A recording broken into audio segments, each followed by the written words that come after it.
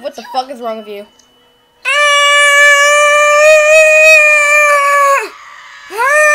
Which is just to the extreme pressure to conform to completely unattainable standards of beauty? I didn't even shave today.